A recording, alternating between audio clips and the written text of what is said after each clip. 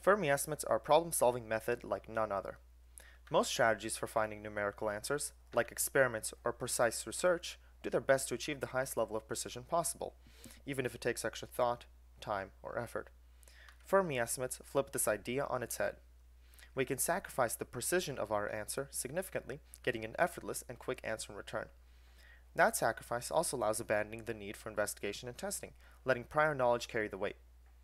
Surprisingly, it is possible to reach a decent level of accuracy about difficult questions using no outside resources if done correctly.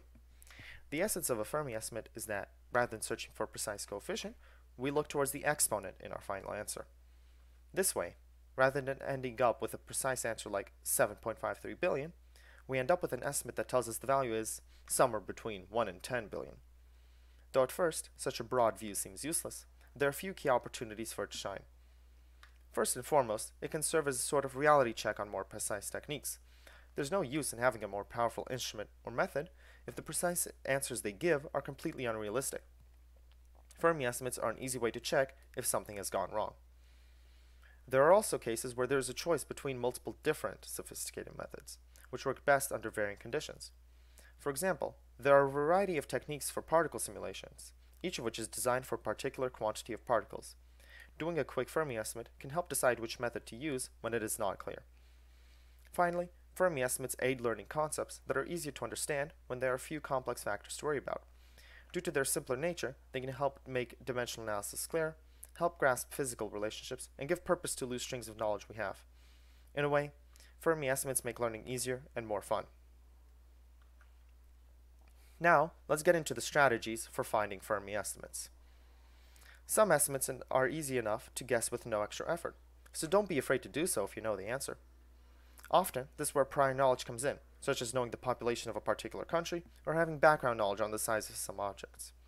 Sometimes, something can be effortlessly measured on the spot with some precision, like the width of a room. Remember that, since the end goal is a general idea of magnitude, it's not necessary to know all the details of your answer.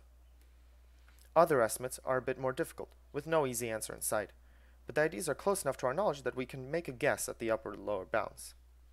For instance, you probably don't know off the top of your head how fast a bee flaps its wings.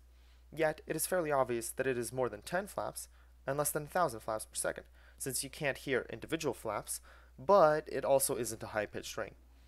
Combining our lower and upper bound, we can guess that, within an order of magnitude, a bee flaps its wings 100 times a second. As an aside, notice that we use the geometric, rather than the arithmetic mean of the two bounds, preserving the focus on the magnitude of the answer and giving the lower bound as much impact as the upper one. Finally, most good questions are difficult enough that even bounding guesses are out of reach. For instance, few people know the mass of the sun or the earth off the top of their head, and when placing guesses, the difference between the bounds would be too massive to be useful. These kinds of questions are the most common ones, since those that are easier wouldn't need to be asked. In this case, the question is split into two or more slightly simpler ones, each of which can be approached on its own. They're either complex enough to be split again, or easy enough to be solved with one of the previous methods. As the questions continue being split, we end up with a multitude of simple estimates. Thus the impossible guess becomes reasonable, even if along the way the precision is lost. This question splitting process is where the majority of effort comes in. By wielding our human insights in the shape of formulas, we can take a single quantity and find a way to split it into ones that are easier to work with. Though extra strategies can be added, those are the key big ones. Using prior knowledge for answers you already have, guessing at bounds for answers you can infer, and dividing and conquering for answers you need to search for.